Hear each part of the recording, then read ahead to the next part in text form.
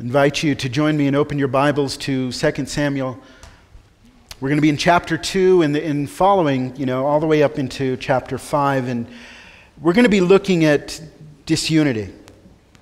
And instead of just hoping that you get that concept intellectually, I wanted you to feel it. And so here it goes. I remember the night that my dad invited me and my two little brothers to my grandma's house and he introduced us to our quote unquote new mom. And through tears and clenched fists, as the oldest brother, I told my dad, I already have a mom, and so do they. We don't need her. And so that night was the culmination of a lot of broken promises and disunity and ultimately, it broke what was supposed to be unbroken that is, a marriage, a family. It was by far my worst, ba- my worst, best day ever as a 12 year old.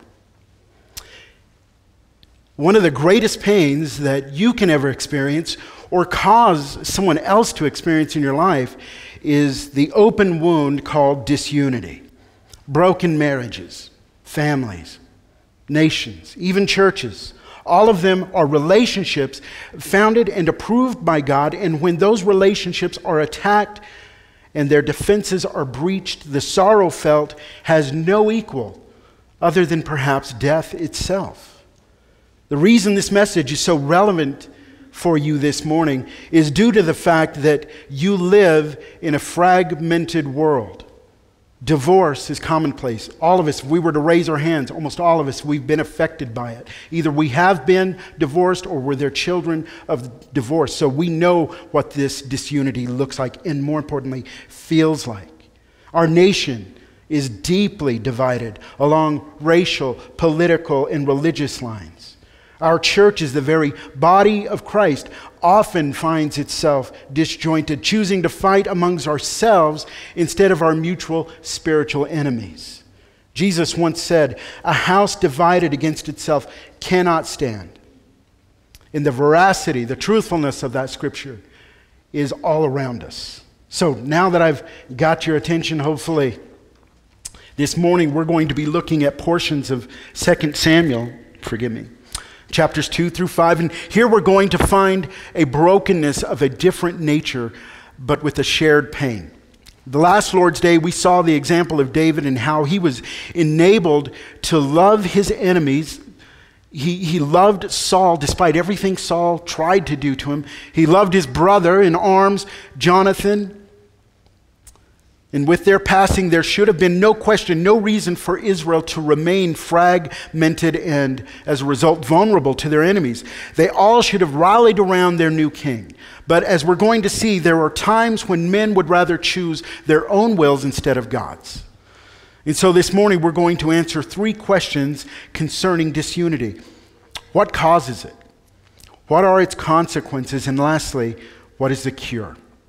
And my hope here is to enable you to not only avoid those things that would cause division in those God ordained relationships we've just mentioned, but when brokenness and division does happen in your marriage, in your family, in your church, you'll know how to see it restored. And so let's get started as we answer these three questions concerning disunity. Here's the first question What causes disunity. And let's set the context. Saul and Jonathan are dead. This is what we looked at in the first chapter of uh, 2 Samuel. Their bodies have been returned to Israel, they've been properly buried, and now there is a void of leadership that sends a few opportunists scrambling for positions. And so now we read 2 Samuel chapter 2, verses 8 through 11. Read there with me. Notice what it says. But Abner, the son of Ner, commander of Saul's armies, took Ishbosheth, the son of Saul, and brought him over to uh, Mahanaim. I'm hoping I pronounced that right. And he made him king over Gilead and the Asherites and Jezreel and Ephraim and Benjamin and all of Israel. Ishbosheth, Saul's son, was 40 years old when he began to reign over Israel and he reigned for two years. But the house of Judah followed David. And the time that David was king in Hebron over the house of Judah was seven years and six months. So then, Israel, God's people, are divided. And the battle lines are now drawn, not against the Philistines, not against their true enemy, but one another. This is God's house divided. So then, what was the primary cause of their division? The answer, of course, is sin. But in this instance, it's a very specific type of sin that Abner and Ishbosheth have committed. It's the, the sin of rejecting God's revealed will. So this begs the question what was God's will in regards to the next king of the nation of Israel? Well, the Lord had made it perfectly clear years before and we see this all the way back in 1 Samuel 15, verse 26. Notice what it says there. And again, Saul had failed to obey the Lord in annihilating the Amalekites. We've revisited this over and over again as we've gone through the life of David. But it, it's because it's a turning point. It's where we see the disobedience of the anointed king, Saul, and then there's consequences. And that's what we see here again. God sends the prophet Samuel to him and he reveals his will to King Saul. And Samuel said to Saul, I will not return with you. He had begged him, please, for appearance's sake, come back with me in front of the elders and all the people so that it looks like we're united, even though we're not. And he's like, I'm not going with you. I will not return with you. Why? For you have rejected the word of the Lord, and the Lord has rejected you from being king over Israel. Make sure that that resonates with you. You've rejected the word of the Lord. You have a word in front of you as well God's word. And when you look at that and you see God's revealed will for your life, not some ambiguous kind of thing, you know, we always want to treat God's, you know, the, the Bible as a magic eight ball and ask silly questions of it and hope that we get answers. No, it's real basic stuff about right and wrong, what's good for you, what's not good for you. And when you look at it and you go, meh, whatever. It's an old book, antiquated, not relevant. And God knows my real heart. And so I'm going to reject this just out of hand because it doesn't really suit me. It doesn't please me. And I'm going to pretend that we're okay with God. That's what Saul was hoping for. Yeah, so I didn't do exactly what God said. I did most of it, but let's pretend that I'm okay with God. You come marching in with me, Samuel the prophet, and so everybody thinks that me and God are good still. That's how most of us, myself included, are living the Christian life today. Eh. Wouldn't you agree with that? Absolutely. So we have a word, we have God's revealed will in front of us as well. God rejected him because he had rejected the word. And that's pretty cut and dry. So, God's will concerning the king of Israel, what was it? Step one Saul, you're no longer the king. Step two of God's will was revealed in 1 Samuel 16 and later on in verse 13. Check out what it says 1 Samuel 16, verse 1. The Lord said to Samuel, How long will you grieve over Saul, since I have rejected him from being king over Israel?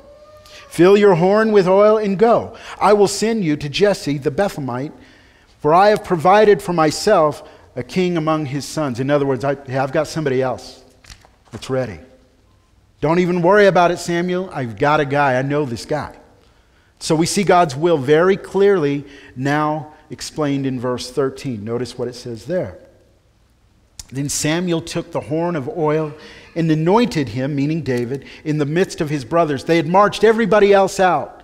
He's the littlest one. They didn't even bring him out from the fields. He was watching the sheep, like, yeah, I'm going to put all of, you know, my big boys out here, Shirley the midget, not him, right? And so they didn't bring him in.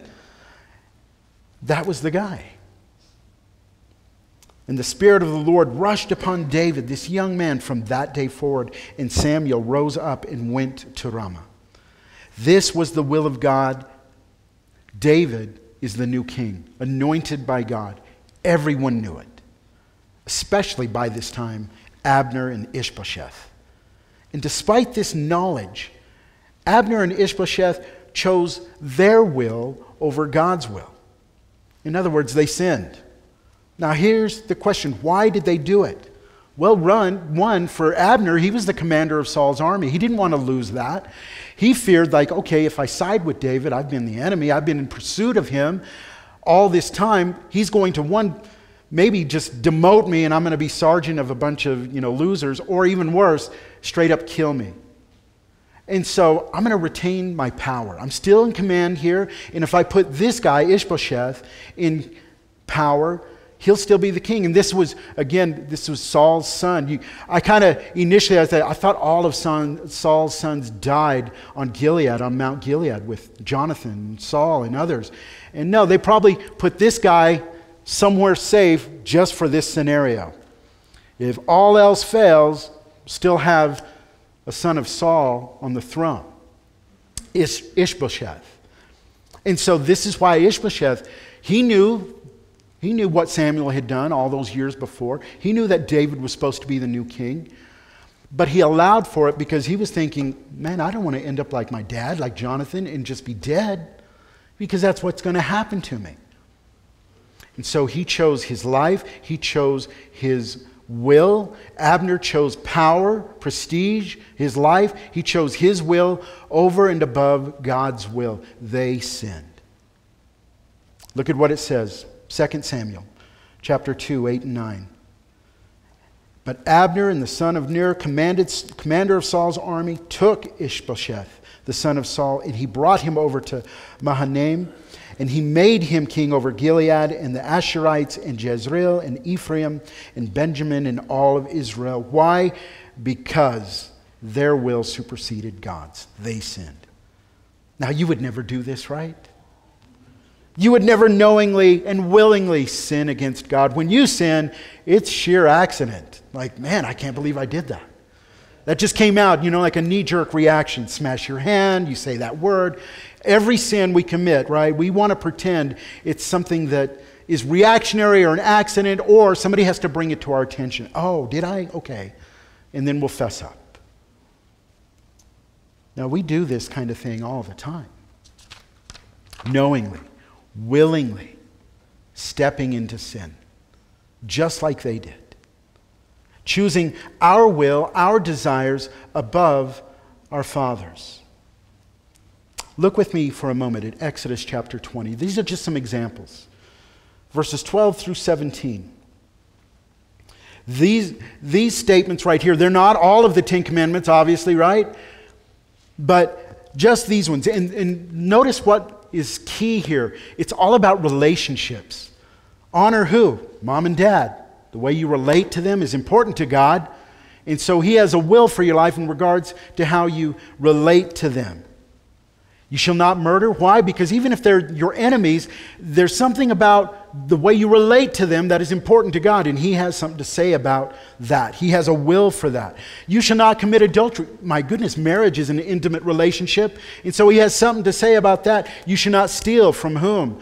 From people, and you relate to them. You shall not bear false witness against your neighbor. You shall not covet. All of these things are relational. God has a will for the way you relate to the world around you. And when you mess that up, when you sin and you choose your will over God's, guess what? You bring division, disunity. You break what is supposed to be unbroken.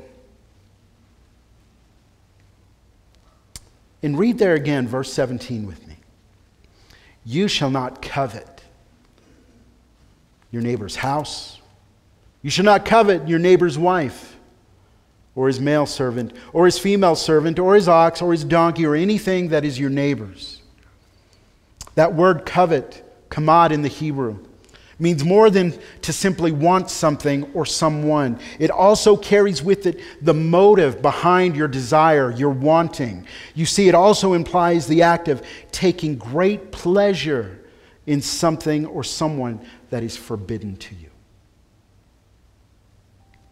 Abner and Ishbosheth set their hearts on the power and the protection provided by the crown of Israel.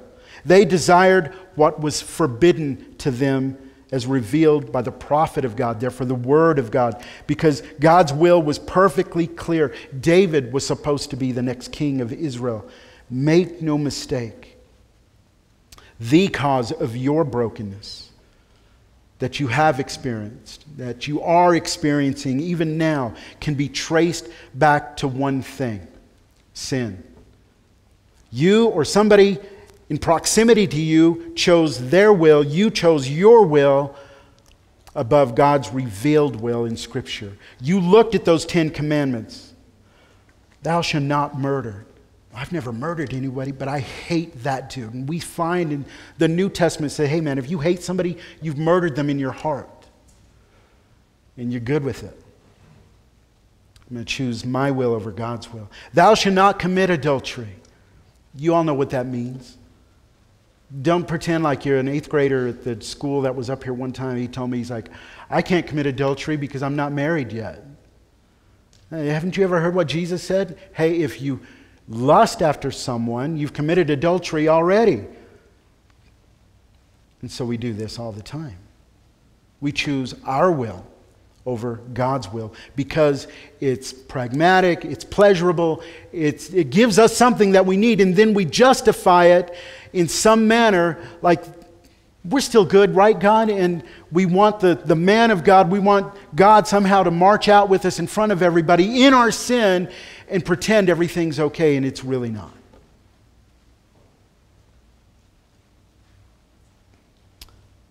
These two men desired what was forbidden to them. They coveted what God had clearly said was not theirs. And this is what we do as well. All of our brokenness, all of the disunity, the broken relationships in your home, in your family, in your church, in your place of work, at school, all of that brokenness is probably because you chose your will over God's. And now you know. Those divisions in your marriage, your family, our nation, and even in our church, not just the church, our church, Grace Hill Church has one root cause the sin of putting our will above and before God's will as seen in His Word. And it's real important for us to ground it there, right? Because when I just say, when I just throw it out there, you know, God's will, we are real quick to fill in the blank, right? What's God's will for your life?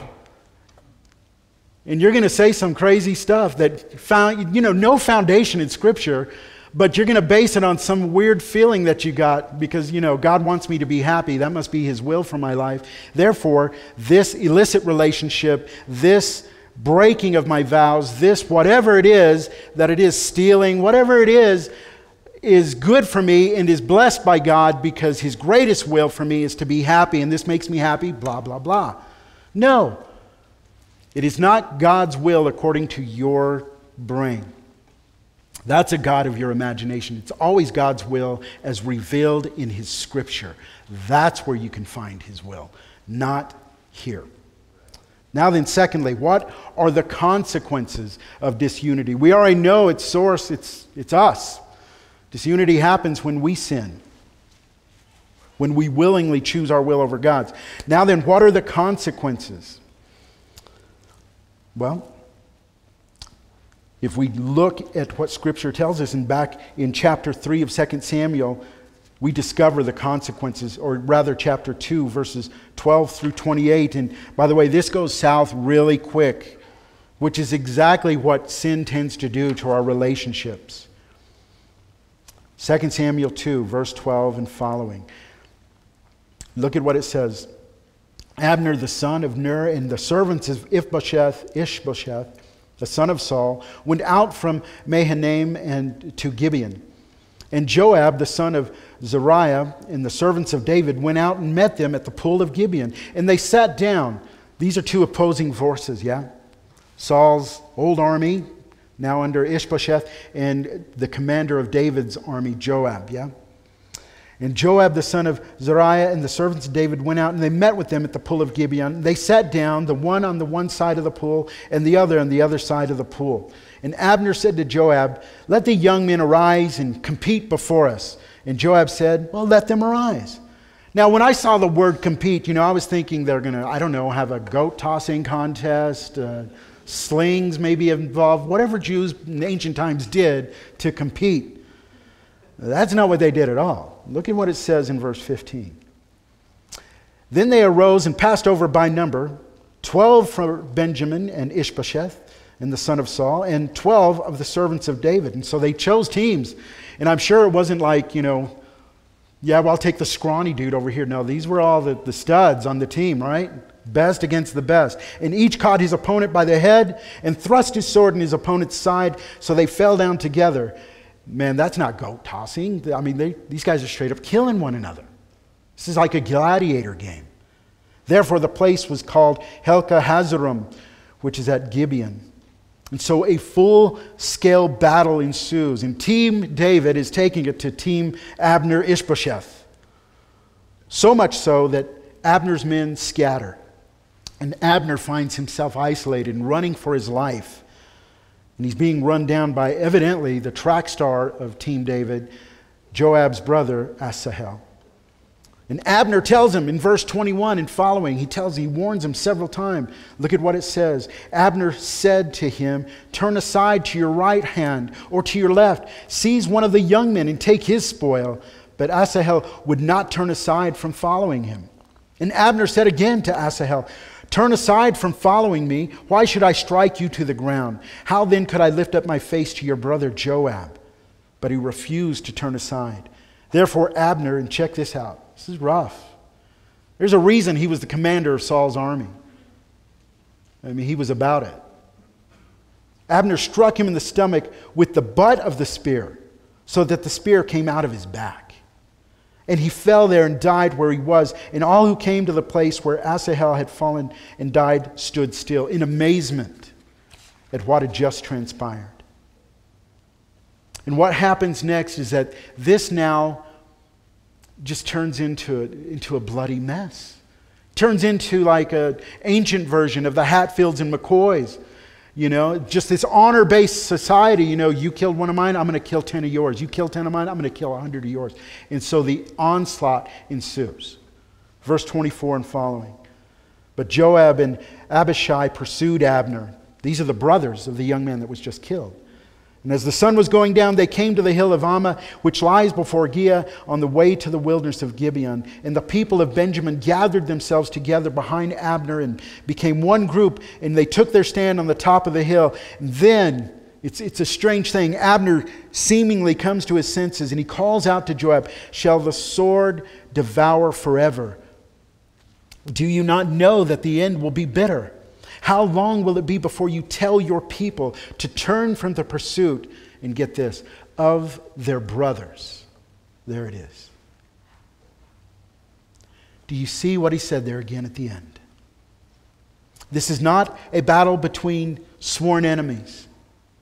This isn't, even a civil war in the sense of citizens fighting one another. This is a family torn apart, the family of God devouring itself from the inside out, spilling the blood of their brothers. You see, the sin of self will, of ignoring or rebelling against God's will, as seen in His Word, it inevitably has this kind of effect, this collateral damage, if you will. Think about it holistically. Let's get the big picture, the big biblical picture of sin and its effects, starting with Lucifer. And we see this implied in Isaiah chapter 14, verses 12 through 14. Notice what is said there. How you have fallen from heaven, O day star, son of dawn.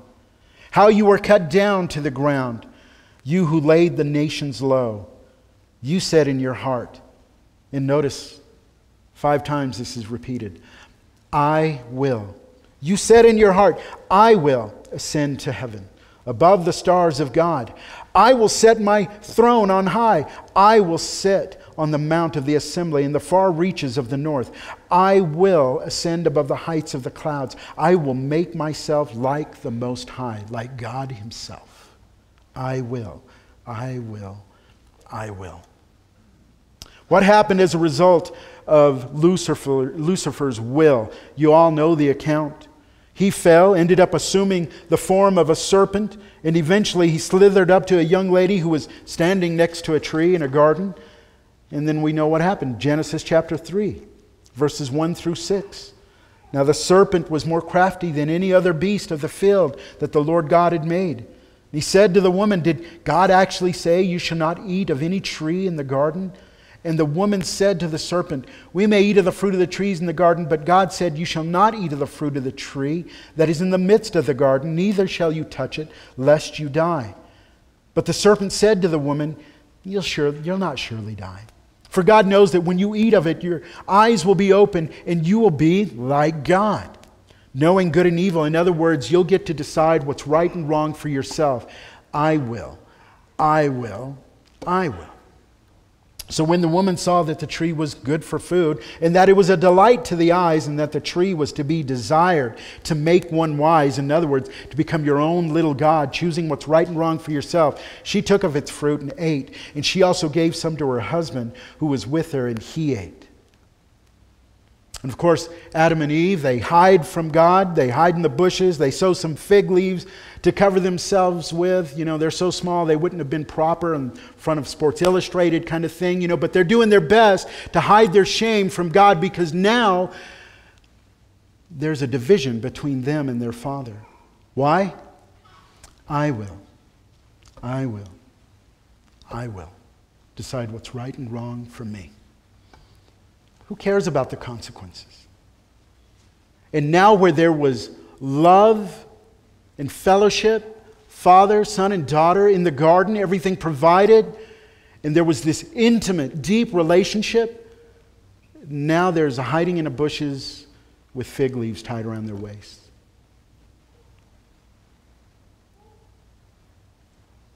Of course, it didn't end there.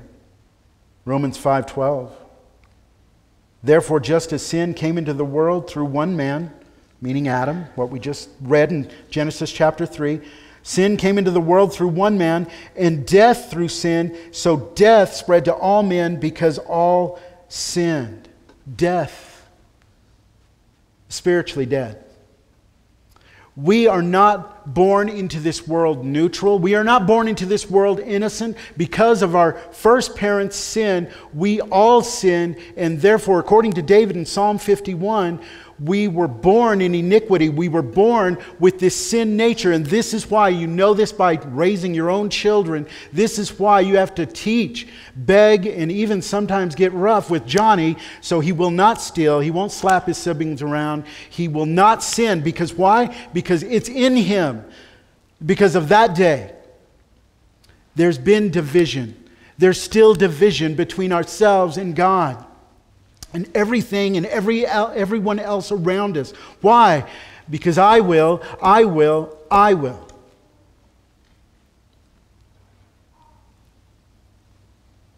In eternity past, Lucifer chose his will over God's. In the Garden of Eden, Adam and Eve chose their will over God's. When Saul died and David should have been acknowledged by all of Israel as the rightful anointed king, Abner and Ishbosheth chose their will over God's. And now, every time you sin with your eyes wide open, you are choosing your will above God's known will, and the effects always touch the lives around you. We make the mistake, and this is how we rationalize our sin. It's just me. I'm not affecting anybody else. This just hurts me. I'll own it. I'll repent of it later. You know, I got to repent of something. Might as well be this, right? And so, but it's not affecting anybody else. And so we make the mistake of thinking that sin is like a bullet fired from a sniper's rifle. One shot, one target, me. I'll take the shot. That's not the biblical picture we see at all. Sin is far more like a hand grenade. Not only does it obliterate the intended target, it also maims and kills everyone within 100 feet or so. That's it. And look, we could go on and on about how this just continues. In chapter 3, we find Abner turning on his patron Ishbosheth, or how Joab finally catches up with Abner and murders him. I could relate to you the account of Ishbosheth and how he was eventually assassinated by his own people in the most horrific manner. I mean, it's something right out of The Godfather. Ralph Emerson once wrote The reason why the world lacks unity and lies broken in heaps is because man is disunited with himself. Well, I dare correct Mr. Emerson by changing one word in that otherwise poetic little phrase. The reason why the world lacks unity and lies broken in heaps is because man is disunited with God. That's it. James 4, verses 1 and 2. What causes quarrels? What causes fights among you? Why is there disunity?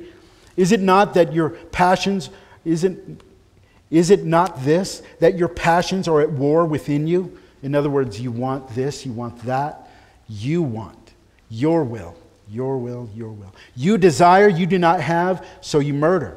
You covet, you want something that is forbidden to you, and you cannot obtain, so you fight and quarrel. These are the consequences of your sin your will instead of God's. A family, a nation, a church divided by murderous hate. Again, we see this, you see this in your homes.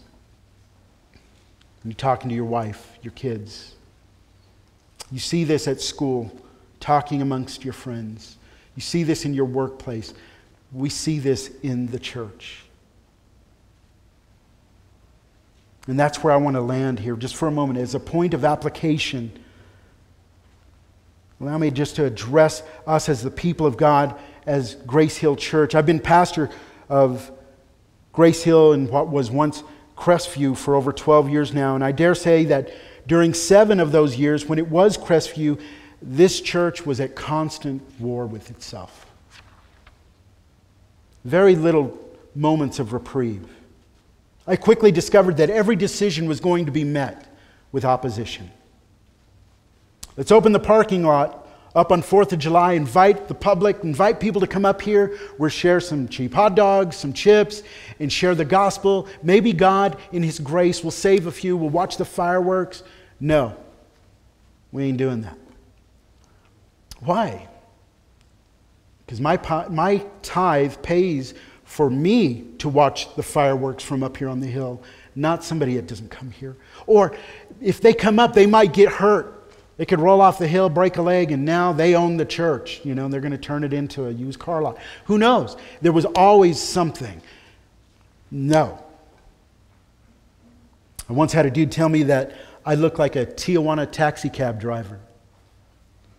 And as a result, I can't invite my friends here to hear a man like you preach from that pulpit. Looks like you. I'm thinking, dude, you're the one that called me here. I mean, I know I'd been living in Missouri. I was a little pale, but I'm browner now. Yeah, I get it, but good night. This is me, been me for all these years. That really happened.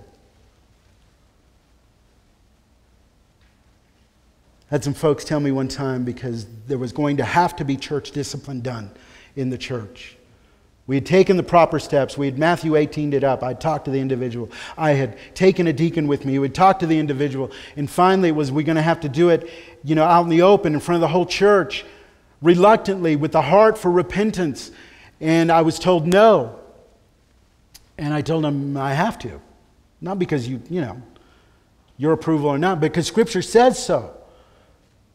And so just before that meeting, I was escorted into a little room back there, and these fellas tell me, it's like, oh, hey, before you go out there and you make a fool of yourself, uh, can I ask you one question, Pastor? Sure. What's the question? How are you going to feed your family?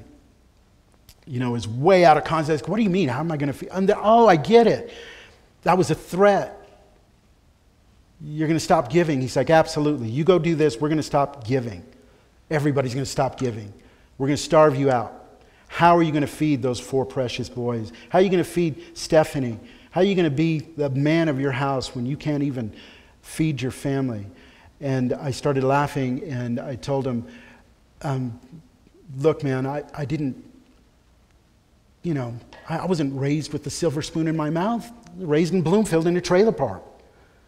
My family, we just came from seminary, nine years of living off of beans and tortillas and potatoes and dirt poor. And so, look, if you guys stop giving, that's fine. I'm going to stand on God's word and, and we're going to go for it. And if I have to go flip hamburgers, dig ditches, drive a taxi cab in Tijuana, whatever it is I got to do, I'm going to do that and we're going to be good. And, and we did. That's the kind of disunity that I've experienced. Some of you probably have not. I hope you never do. But let me just make this point. Although I believe Grace Hill is essentially healthy, we are always one sin away from absolute disunity. From the pastor, from you, from one of the other pastors. It's, we're always one sin, one person saying, I'm going to choose my will above your revealed will as we see in Scripture, God, and I don't care what happens. Always one sin away your marriage, your family, your church.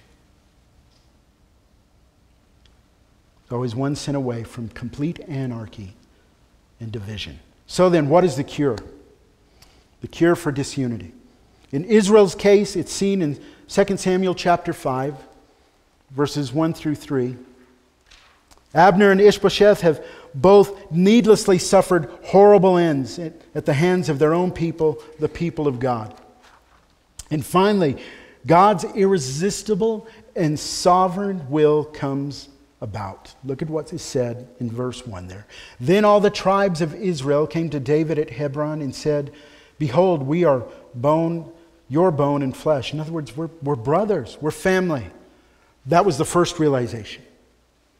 In times past, when Saul was king over us, it was you who led out and brought in Israel. And the Lord said to you, You shall be shepherd of my people Israel, and you shall be prince over Israel. In other words, you're going to be the king. So all the elders of Israel came to the king at Hebron, and King David made a covenant with them at Hebron before the Lord, and they anointed king David king over Israel. So then, what caused Israel finally to come to terms with David being their king? It's right there in verse 2. The Lord said, You shall be shepherd of my people Israel. You shall be prince over Israel. In other words, the Lord had said it, and by his sovereign will, he brought it about. You see, the cure for the disunity in your life is found in you submitting not to your will, giving in to your desires, but rather submitting to the sovereign revealed will of God is found in Scripture, not in your imagination, not in your justification of your sin, not in your rationalizing your sin and hoping that since it makes you happy, this will make God happy and you get to pretend that you're on good terms with Him. No, according to His revealed will, sovereign will. So, this is the cure submit to God's word. Let me give you three good reasons why you should submit to God's will found in His word today. One, His will is unchangeable. God is going to get His way regardless of what you want, regardless of how you twist His truth to make it suit your context, your circumstances, your sin. His will is going to prevail no matter what. Several verses that kind of point to this. Psalm 15, verse 3 Our God is in the heavens, He does all that He pleases. It's good to be the king, yeah? Right. As Mel Brooks would say, and that's exactly what is being said here. He gets to do what he wants. Psalm 103, verse 19. The Lord has established his throne in the heavens, and his sovereignty rules over all. A sovereign Lord, a sovereign king, has absolute authority and power to enact that authority over his subjects. And that's what's being said there. Daniel, verse 4, 35. All the inhabitants of the earth are accounted as nothing. And he does according to his will among the host of heaven and among the inhabitants of the earth, and none can stay his hand or say to him, What have you done? In other words, his will will always come to pass. And so when you read those verses that are contrary to what you want, thou shalt not commit adultery. Yeah, but man, that feels good. Thou shalt not steal, but yeah, I'm in a really tough spot. I, I need that extra income and just tweaking it a little bit. We justify it. God knows my real heart. Thou shalt honor your mom and your dad. Yeah, but it, have this against them. You see what I'm talking about? His will will always prevail. Second reason why you should submit to His will, as revealed in His Word, is uh, His will for you is always good. There's a distinction between feeling good in your current circumstances, whatever that sin is. By the way, that's why we give in to temptation all the time. You know, we, we talk about it real negatively. Oh man, I have this horrible sin. But well, why do you do it? Well, let's be honest. It does something that we like. God's will is always better. Romans 8:28 and we know that for those who love God all things work together for good for those who are called according to his purpose. This doesn't mean you'll never suffer or experience hardship in your life, but it does mean that God's will, his ultimate purpose for your ultimate good will prevail in the end. There is suffering this side of eternity. And some of it is God ordained. He allows it. Read the book of Job. The beginning of it, he's this godly man. Horrible things happen to him. He loses his family, his wealth, his mind, his wife, everything. All of his friends abandon him. Everything's gone. At the end of it, through his trials, through his suffering, he knows God more intimately than he ever did before. Everything you're going through in your life right now, God will bring about for your good. His will is good. Three, it was God's will to save you. This is another reason why you should submit to his will, because he's the one that saved you. Ephesians chapter 1, verses 3 and 5. Blessed be the God and Father of our Lord Jesus Christ, who has blessed us in Christ with every spiritual blessing in the heavenly places, even, and get this, as he chose us in him when? Before the foundation of the world. Make sure you get that picture in your mind. He chose you in your sins before you were even thought of, before the foundation, before the world was even spoken into existence. God, being God, chose you. Have you ever read that in Scripture? Because I know where you're thinking. When you think in terms of salvation, you're just thinking about your participation heard the gospel and I was smart enough and yeah, good, I was good enough and I responded to it and I prayed the prayer, and now I'm going to heaven. This is God's perspective. Before I even spoke the world into existence, I chose you. Read it again. Even as He chose us in Him when, before the foundation of the world, that we should be holy and blameless before Him. So He he chose us who were sinners, we weren't even thought of, weren't even created, to be in Him, to be holy, to be in relationship with Him. And then notice what it says in verse 5 In love, He predestined us for adoption through Jesus Christ. Again, that word meaning to choose us. According to what? According to Him responding to your will? I prayed a prayer, and so I'm going to respond, and now it's my will to save you? No. Why did he choose you before the foundation of the world? Why did he predestine to adopt you and make you his own? Look at what it says at the end of verse 5 according to the purpose of his will. Wow. This is why you should submit to God's will. Because it was God's sovereign grace, God's sovereign will that saved you in the first place. And yes, indeed, you responded. You went, Oh, I'm a sinner. I need a Savior. I'm broken before you, Father. I repent of my sins and I'm trusting in Jesus Christ today. You did that. He enabled you to do that. His will allowed that for, to transpire. So you see now the cure for what divides us is found when you abandon your sinful will and embrace God's revealed will. So here's what we've learned the cause of disunity, the sin of choosing your will over God's. The consequences? Broken relationships with God and everybody else around you. The cure? You submit to the will of God today. Some of you are living right now outside of the will of God. You know it because even now you're feeling the weightiness of doing that. And I hope perhaps that some of that weightiness is right now, some of you are feeling deep conviction. Not just guilt and shame that drives you out into the bushes to hide from God, but the kind of conviction that burdens you to where you have to find relief, not just cover it up. You need and you desire relief finally. And so you come running to God. You know that it's time for you to get right with God, to abandon your will and to trust in His will for your life. And so this is what you need to do. For some of you, you need to just absolutely look to Christ and be saved today because you're not.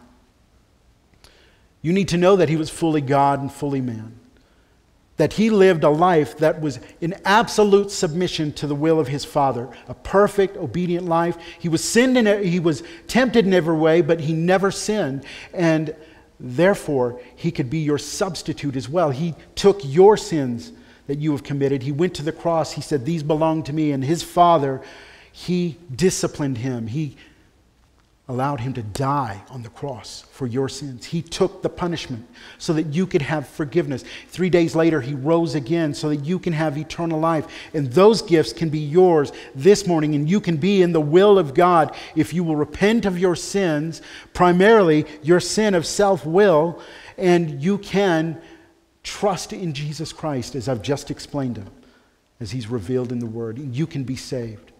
For other others of you here who are Christians, who can and do and will choose your own will above God's, probably today, you need to repent. You're living in sin, known sin. Stop playing games with God's word. Stop ignoring the conviction that's in your heart. Be broken. And yes, it may mean you're going to have to stop doing whatever it is that contributes to your life right now. Be it some relationship, be it some money that's illicit, or whatever else it is, some hate issues you got in your heart, you're going to have to let that go and trust God and His will. Trust that it's good today. You know, my family never truly healed. My folks divorced a few years later after that one night. Life was never the same until seven years later.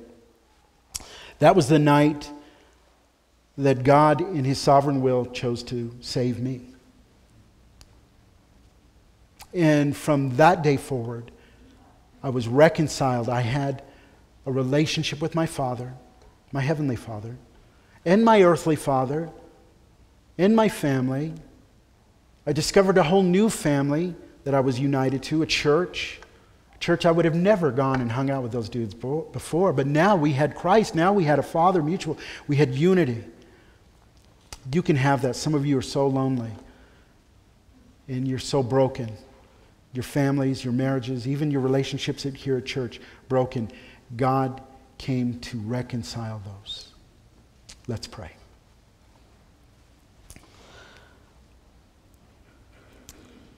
Father, we thank you for the joy of knowing that your will has and will continue to prevail. And I trust this morning that it's your will to save some here this morning and that they understand that now. Before the foundation of the world, that you had chosen them, you predestined them, and that what they need to do now is be broken before you and be saved. And so I pray, Lord, as we take this moment, that some people here will do just that and be saved. Others here that are living in, in sin and they know it, Father, help them to trust your will. It's inevitable. There are severe consequences that will affect not only themselves, but those around them, if they continue on disobeying your will, help them to repent of that and trust that your will is good. That you're going to save them out of that sin. So, Father, we thank you for these lessons that we've learned in the life of David and Israel here. May your blessings rest upon us now in Jesus' name. Amen.